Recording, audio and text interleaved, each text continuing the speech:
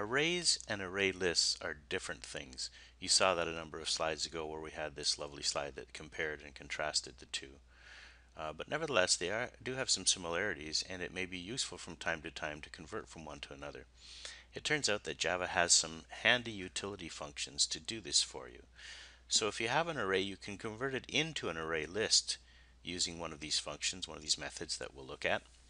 And that can be useful because then it would allow you to use the sort um, method that, that exists for lists and for also finding maximum and minimum values and even for shuffling a list. So these are all things that we haven't looked at yet that exist in array lists and we're going to explore them now starting with taking a regular array and using the utility function that was mentioned to change it into an array list so that we can use some of these fancy uh, particular methods on the resulting array list. One of these methods is the asList method that is a static method of arrays and if you were to say arrays dot as list and then provide as an argument an array, what this method will do is it will take each element that's in the array and produce an array list out of it. So the result is then an array list containing all the elements that were originally in the array. You see on this slide where this is happening syntactically in the second line where we see array list string list equals new array list and then as an argument or as a parameter for the constructor we put in arrays dot as list and then in brackets array. So what this will do if you look at the line above here where we've defined a, a not an array list but a normal array it's an array of strings so string square brackets array equals and we've initialized it to contain three elements namely the string red the string green and the string blue. The next line will take that and produce an array list out of it. So now we have an array list of strings that contains those same three elements. At index 0 we would have the string red, at index 1 string green, and at the index 2 string blue. All the same elements that were in the original array, but now it's an array list called list. And of course we can always go backwards if we want. We can have a method that does the opposite converts from an array list to a normal array. And we see that example happening next at the bottom of this slide. So we have a regular array of strings called array1. So string square brackets array1 equals new string and then in brackets list dot size. So that will make an array that's initially got no elements or empty elements in it, I guess, of size list dot size. The goal here, if it's not obvious, is we want to convert something that's called list to a normal array called array1. So the actual utility function to do this um, is going to use list, which is the object we've created above at the top part of the slide, and we say list dot to array. So the to array method is a method we haven't investigated yet that goes with array lists. And as an argument, it accepts an array that we wish to um, populate with the elements of that list. So this particular um, method invocation at the bottom of the slide actually affects array 1 and what it does is it goes through list element by element and copies each element into the indices of uh, array 1 that was defined above. That's why we had to define array 1 size to match the size of the list which is obvious how we did that in the preceding line. So there we have uh, both directions discussed in this slide, going from an array list to an array and going from an, to an array from an array list back and forth. And so that can be a handy thing to be able to do. One motivation for wanting to do the kinds of conversions that we discussed in the previous slide is that there are some interesting and useful methods, um, not directly in the ArrayList class, but in something called collections, uh, there's the ability to sort and to find the max and the min and some other things that we'll be looking at. But that particular collections class will only work on array lists. It will not work on normal arrays.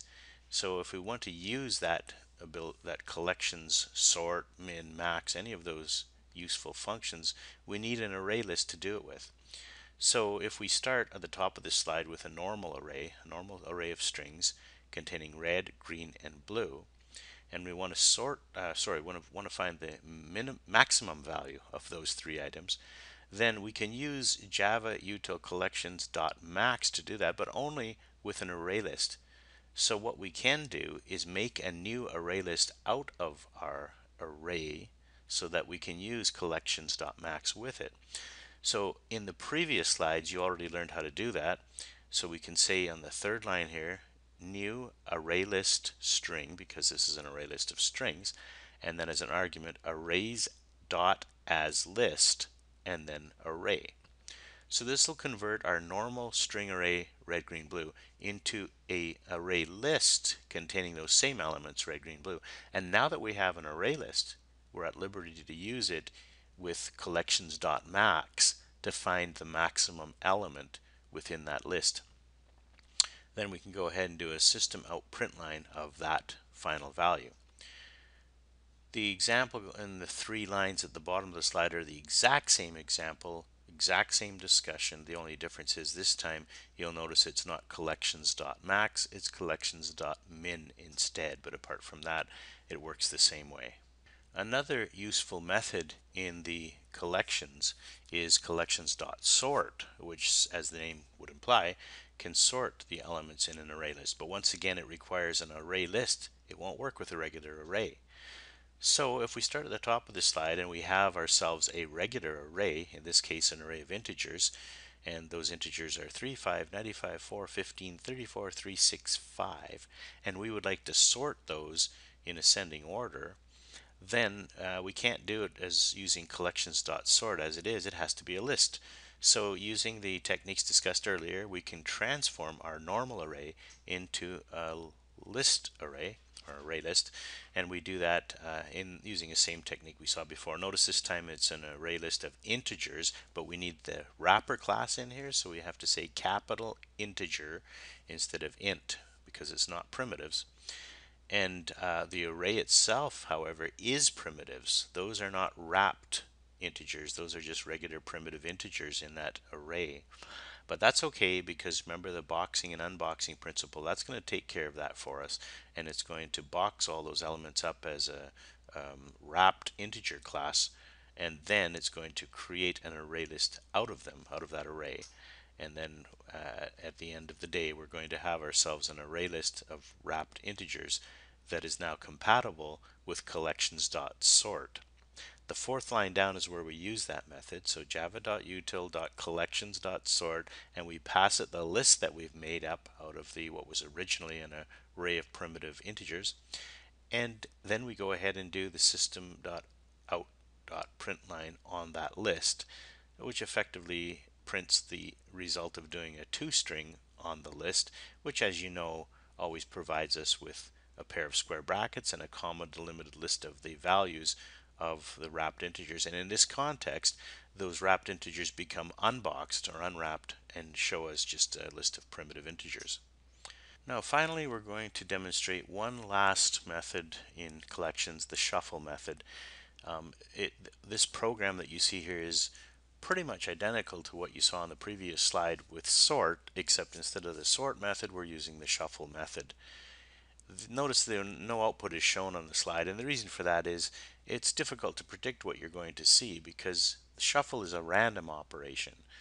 The integers as you see them up at the top of the slide are it's extremely unlikely that we're going to wind up seeing them print that way. All we can say for sure is we're going to get an opening square bracket, a closing square bracket at the end, and a comma delimited list of integers in between in some random order. It will contain all the integers that you do see at the top of the slide, but in very likely a much different order than they occur there, and certainly not sorted. Uh, so you could try running that. and Every time you run it, it's going to look different because you'll get a different random collection of those uh, integers in some other order. We're going to now revisit the implementation of my stack. Last time we did it as a normal array, and this time we're going to do it as an array list.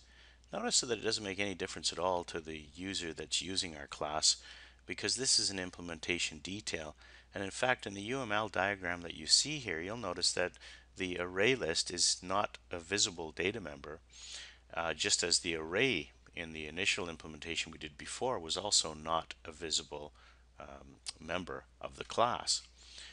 The user only gets to see those methods that are visible and how they get implemented is not of any concern to the user and they don't get to see and they don't get to know how it's implemented. So they will never know whether we've used an array or an array list. But certainly if we use an array list, it's somewhat easier for us to do the implementation that way.